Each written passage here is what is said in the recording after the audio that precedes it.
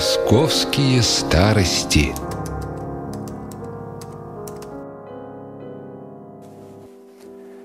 Здравствуйте! Сегодня на нашем календаре 23 апреля 1922 года.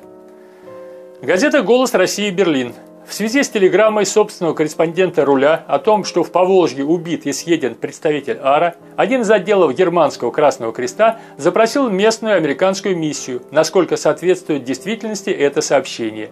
На запрос миссия ответила, если бы произошло убийство уполномоченного, то члены миссии были бы осведомлены об этом немедленно. Газета «Последнее известие Ревель». Советская делегация на Генуэзской конференции представила союзным державам детальную ноту об убытках, причиненных России в связи с гражданской войной и блокадой. Выражено принципиальное требование возместить убытки или предоставить соответствующие компенсации. Газета «Известия» в ЦИК. В Грозном для предотвращения нападения бандитов на нефтяные промыслы электрогруппа пускает ночью по окружающему забору ток высокого напряжения. Газета «Красный север Вологда». Такого наводнения давно уже не было. Особенно пострадал третий район города, где много улиц было залито водой. 19 апреля возвращавшиеся домой рабочие и служащие пробирались по мосткам по колено в воде – Немало было случаев, когда кавалеры, взвалив на плечи своих дам, переносили их на себе.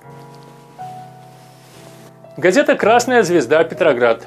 22 апреля член ЦК Помгола товарищ Винокуров и епископ Антоний в сопровождении корреспондентов американского телеграфного агентства Associated Press и газеты Public Ledger, а также представителей советской прессы, посетили в Москве Крестовоздвиженскую церковь и Никитский монастырь во время изъятия ценностей – Прибывшие подробно ознакомились с порядком изъятия, сортировкой и запечатыванием ценностей, подлежащих сдаче в фонд помощи голодающим.